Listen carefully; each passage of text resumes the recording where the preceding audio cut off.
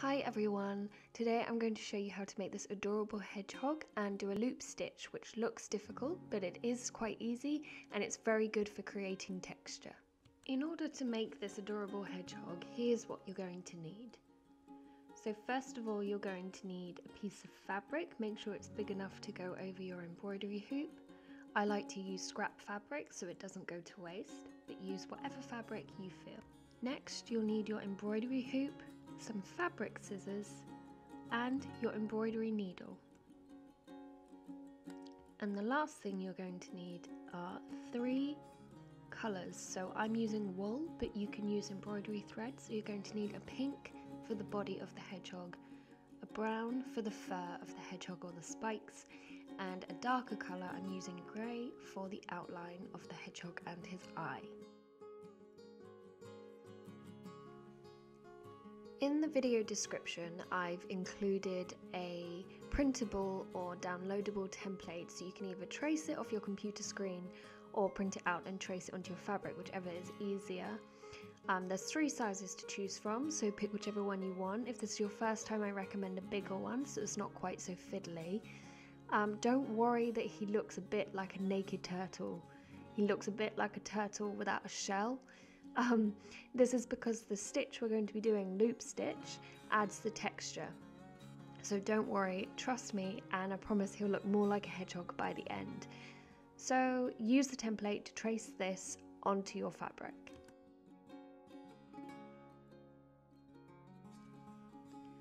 Place your fabric into your embroidery hoop, making sure it's as taut as possible. Keep adjusting Keep pulling the fabric and keep twisting to make it tighter just to make sure you've got the best tautness to your fabric. The tighter it is, the easier it is to sew.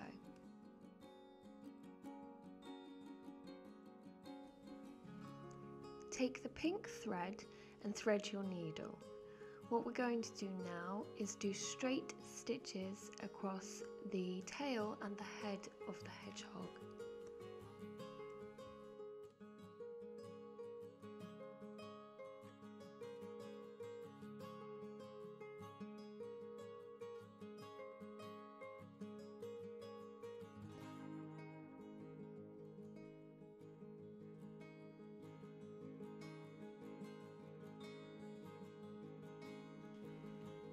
Make sure to secure your stitch by doing one smaller stitch over the top of the end of the thread. This will secure your thread and help you to hold it in place.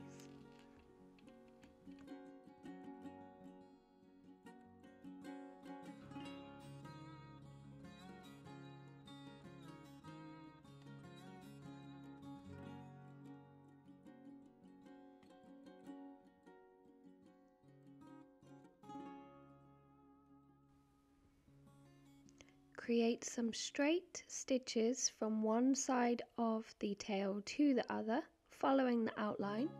Make them as straight as possible and keep them as neat as possible. And when finished, move across to the head and do exactly the same on the head.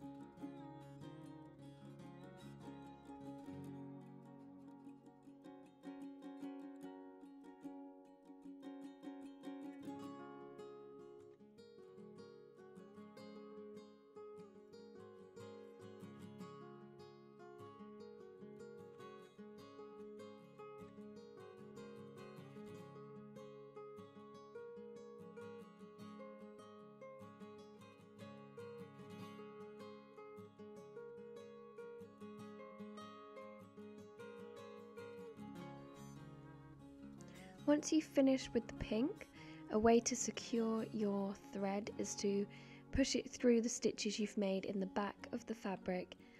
Make sure you pull it all the way through and then you can snip it and this will keep it nice and safe for when you start your next colour. Using the brown thread now, we're going to do a few stitches in the bottom to give the hedgehog some legs. These aren't going to be seen quite as much as the tail and the head, but it just gives him a bit more shape and makes him look, look more lifelike. So take your brown thread and thread the needle, thread it through the back of the fabric, and I tend to do about four or five straight stitches for each foot.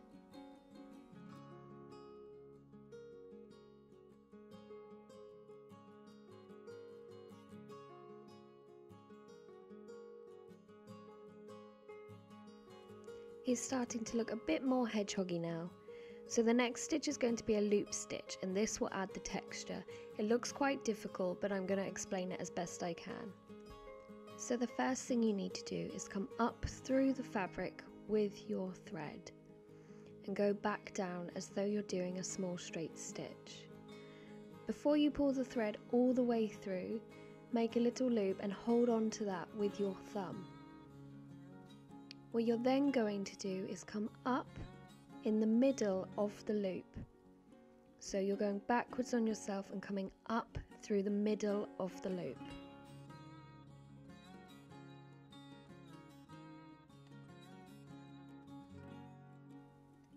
My videoing of this wasn't the best and I didn't realise until after I'd finished, so don't worry, I'm going to show you that more clearly again in a minute.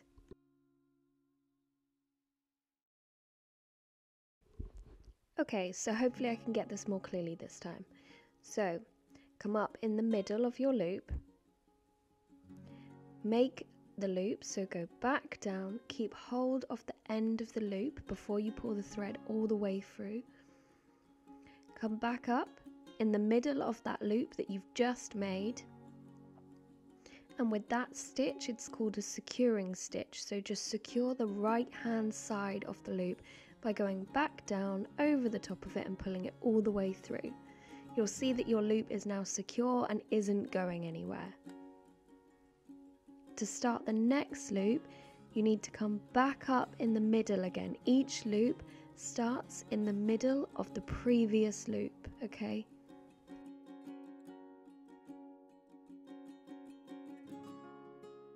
So come back up in the middle of your previous loop. Pull the thread back through the fabric but keep hold of the end of the loop.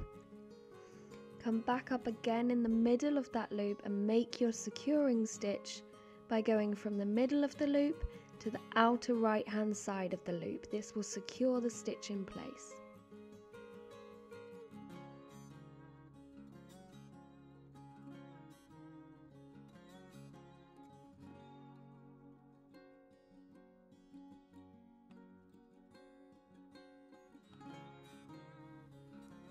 Again, just to show you one more time, come up in the middle of the previous loop, back down to the right hand side, and then your securing stitch goes through the middle out to the right hand side, securing that loop. Try and make sure that all loops are the same height and same width apart, otherwise you'll end up with a hedgehog that's maybe balding or a bit naked.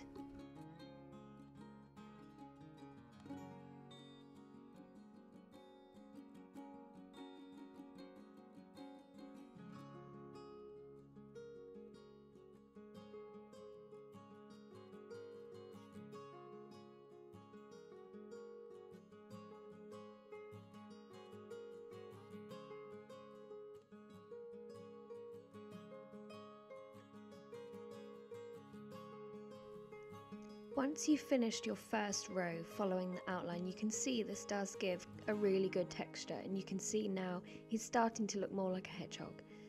So to start your second row, it's exactly the same process, except you're going back from right to left. Just make sure to hold the previous loops you've done out of the way, otherwise it can get very tangled and confusing. Keep everything clear, keep everything out of your way so you know where your next stitch is going to land. If you ever pull your thread too tight and lose your loop, don't worry, just do exactly what I'm doing here and pull it back through a little with your needle until it's the same height as all your other loops. Then make your securing stitch.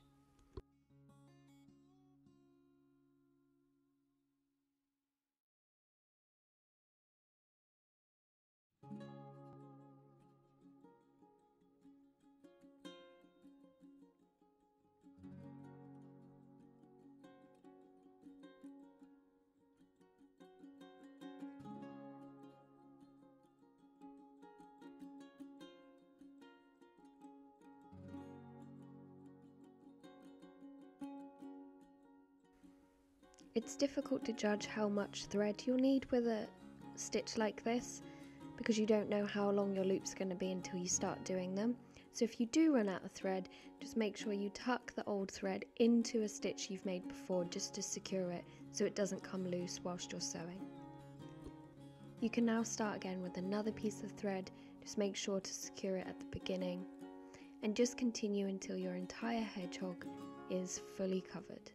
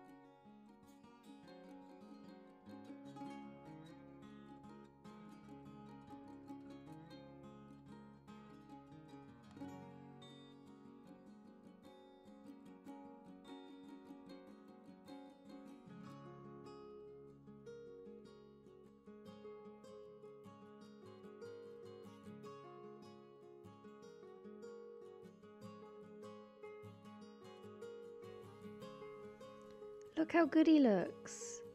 I mean, I know I'm biased because I made him, but I'm sure yours looks just as good. I really like this technique when making fluffy animals or anything fluffy if you want textured flowers. It's a really effective way to add more texture to your sewing. The next thing we need to do is give him a face and an outline. So you're going to need to take your grey thread and thread your needle.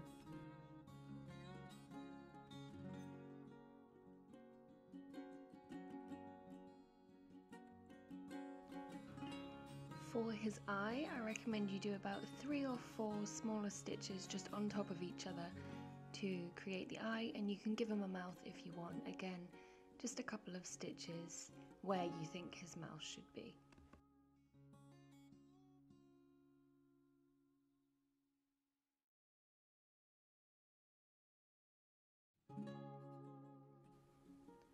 For the outline, we're going to use something called stem stitch. It's a bit difficult to show you on the hedgehog because he's so textured, so if you don't get it from this video, go to my dinosaur video and it's a lot easier to see.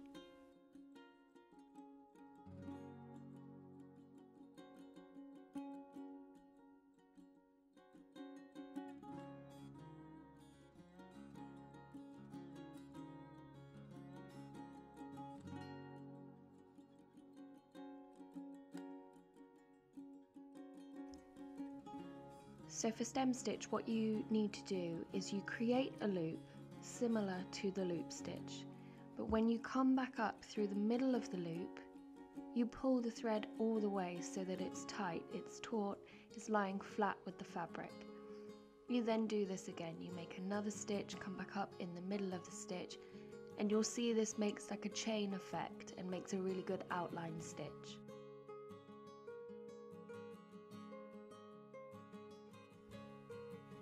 Again, make a small loop, come back up in the middle of the loop and pull the thread tight with the fabric.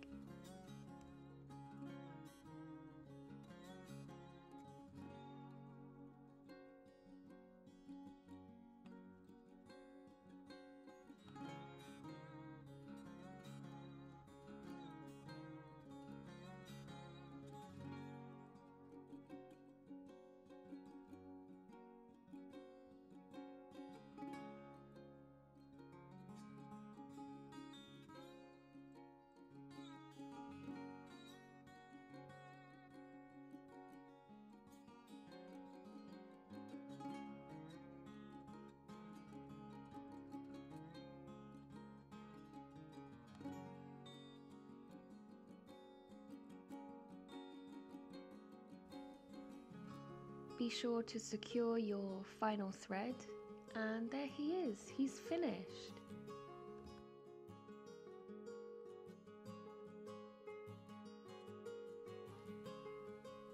As I said previously, this is a really good stitch for texture um, and you can leave it like this. I think it looks quite effective, it looks very hedgehog-like. So this type of stitch can be used to make petals for flowers, as I've done here. I should have ironed them really so you can see, but yeah, it makes very good petal effect. However, if you snip the loops, you get this fluffy effect, like I've done with these here. And as you can see, I did on this um, tote bag, I used wool again and I snipped so that you have this fluffy textured effect. So it's up to you how you do your hedgehog. You can either leave him like this or you can experiment with snipping the loops and he'll look more fluffy.